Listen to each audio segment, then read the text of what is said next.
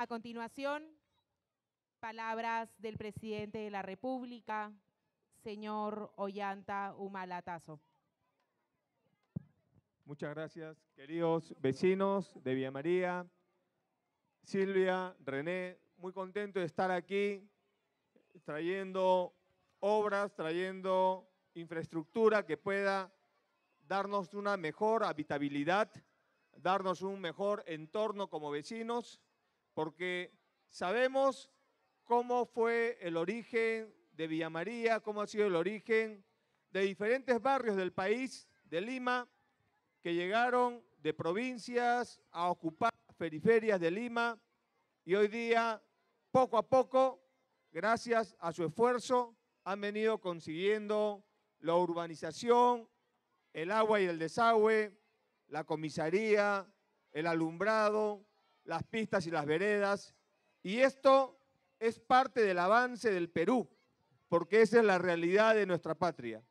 Hoy día estamos colocando pistas y veredas. Mañana seguiremos avanzando en darles habitabilidad, porque sabemos que el Perú se viene construyendo día a día, con el esfuerzo de su pueblo, con el esfuerzo de las familias provincianas que vienen a trabajar a la capital y vienen a producir riqueza y requieren también un buen lugar donde vivir. Hoy día comprendemos esto y estamos comprometidos a trabajar sus pistas, sus veredas, su agua, su desagüe, su alumbrado, su seguridad, su educación y su salud.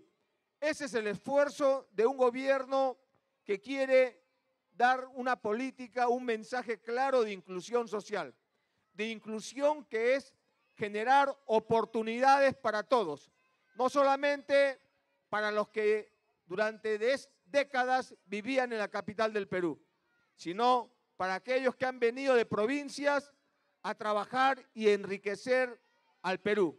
Desde aquí, un fuerte abrazo a todos ustedes y renovar nuestro compromiso de seguir trabajando de la mano de sus alcaldes, de seguir trabajando de la mano de sus gobiernos regionales para seguir construyendo patria, para seguir construyendo desarrollo y avanzar en lo que es el desarrollo de nuestras familias. Muchas gracias a todos ustedes.